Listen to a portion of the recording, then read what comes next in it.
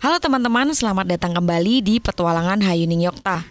Setelah berpetualangan ke Tugu, kali ini kami akan berpetualangan menuju bagian paling utara yang tentunya masih berhubungan dengan garis imajiner. Nah, sebelum berpetualangan bersama kami, pastikan teman-teman subscribe, nyalakan tanda loncengnya, like dan share video ini. Kritik dan saran dapat teman-teman sampaikan di kolom komentar atau langsung email kami di hayuningyokta@gmail.com. Kali ini kami berpetualangan di gunung, tepatnya adalah Gunung Merapi.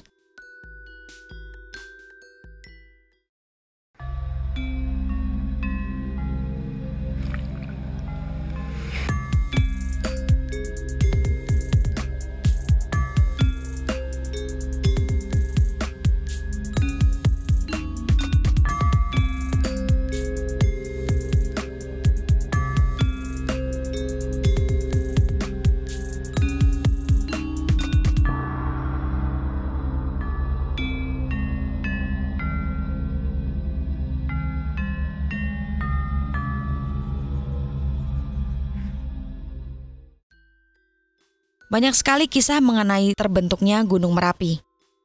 Gunung Merapi berasal dari kata Meru dan api. Meru berarti gunung, maka dari itu Merapi berarti gunung yang berapi. Kisah mistis dan misteri Gunung Merapi banyak sekali beredar di masyarakat.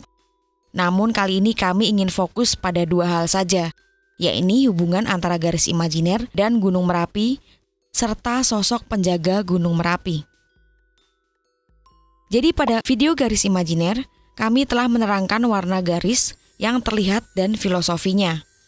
Kali ini kami ingin menegaskan bahwa garis imajiner yang berasal dari Pantai Parangkusumo akan berakhir di Gunung Merapi.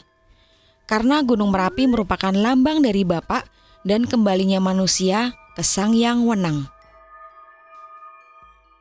Gunung Merapi merupakan gunung yang sangat sakral dan penuh cerita.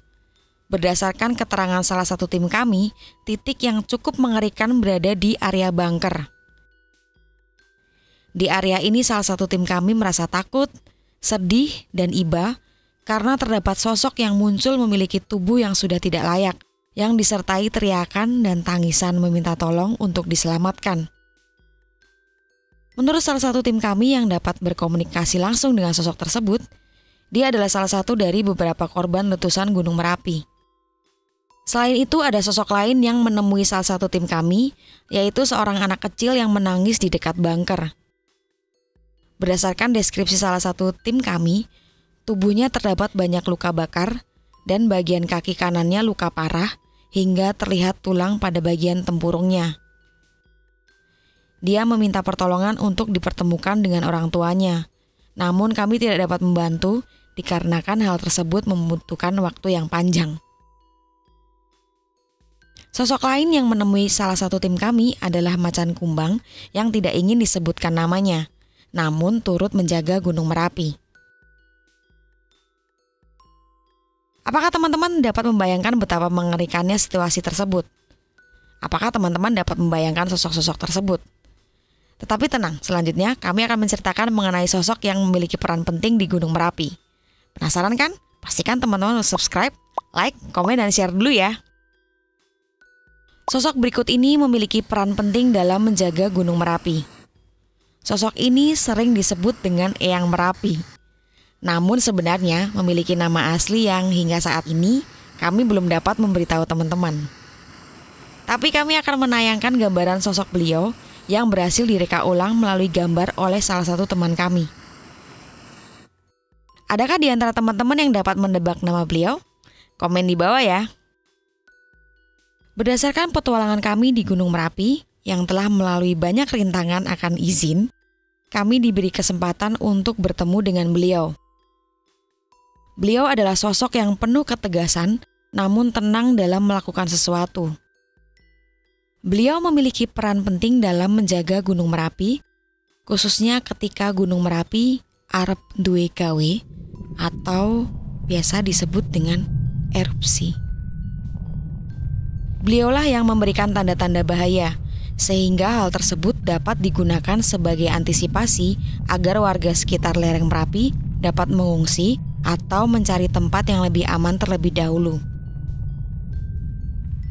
Beberapa orang termasuk raja yang berkuasa di Yogyakarta menyebut Gunung Merapi sebagai keraton Merapi dan melakukan labuhan setiap tahun. Hal ini sebenarnya berkaitan dengan filosofi, yakni proses manusia yang akan berakhir dan pasrah terhadap Sang Yang Wenang. Jadi Gunung Merapi merupakan lambang Bapak dan kepasrahan manusia terhadap penciptanya. Hal ini juga yang dibenarkan oleh beliau, sang penjaga Gunung Merapi. Oh ya, salah satu tim kami menyampaikan bahwa beliau menitipkan pesan untuk teman-teman semua. Oleh jupuk gambar, oleh gambar, oleh ngapa wae. Tapi mung aku wae ngerti apa meneh Gusti, mesti uga ngerti. Oleh rumangsa bisa, tapi becik ora rumangsa. Lan sing utama, oleh panutuping urip kuwi lak peteng supaya padang. Udu jebuk padange supaya peteng. Apakah teman-teman tahu maksud dari beliau? Kami akan mengutarakan kembali dengan cara yang sederhana. Jadi, di mana pun kita akan melakukan apa saja, harus mengerti tata krama dan berhati-hati. Jangan sembarangan dalam berucap dan bertindak, sebab Tuhan tahu apa saja yang kita perbuat. Selain itu, jangan sombong, sebab hidup seharusnya ditutup dengan tenang, bukan sebaliknya. Ketika akan menghadap Tuhan, justru kita berbuat hal yang buruk. Menarik sekali ya. Masih penasaran dengan petualangan kami selanjutnya? Pastikan teman-teman subscribe, nyalakan tanda loncengnya, like dan share video ini. Kritik dan saran dapat teman-teman sampaikan di kolom komentar atau langsung email kami di hayuningyokta@gmail.com. Sertakan juga petualangan seperti apa yang teman-teman pengen tahu ya. Sampai jumpa di petualangan selanjutnya. Matur nuwun.